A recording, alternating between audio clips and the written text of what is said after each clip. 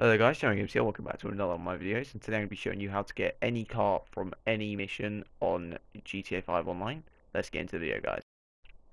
So guys, the glitch is pretty easy, all you have to do is go to Rockstar Social Club and download the link that's on the comment section below. It's really easy, just click on it and then uh, just sign into your social club email password and then you should be signed in and then just download it to your game. So after you've done that, you just want to load up GTA and then click on it, just simple as that. Uh, load the mission up. You can do it with friends or you don't have to. Um, you basically just have to do what I do on screen. You just load it up, go to the Los Santos Customs, and then literally all you want to do is, once you're in there, you reverse slowly and basically once you start reversing slowly you leave the session at that point in time and the glitch should be done. It's really simple.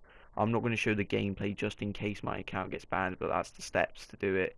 I'm going to leave the gameplay still going in the background just so you can watch it. Bye bean games. See you in the next chapter. Peace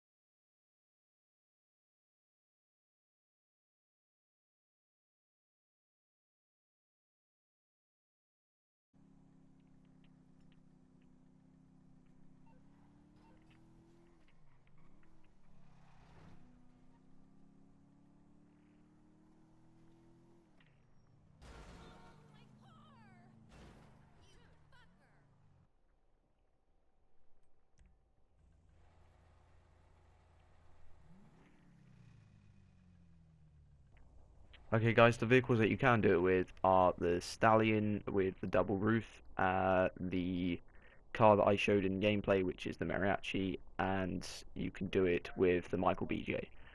And those are the three modded vehicles that you can get. You can get vehicles that are under 50k, but um, those are just some modded vehicles that I thought you guys would enjoy. Thanks for watching the video. See you in the next chapter. Peace.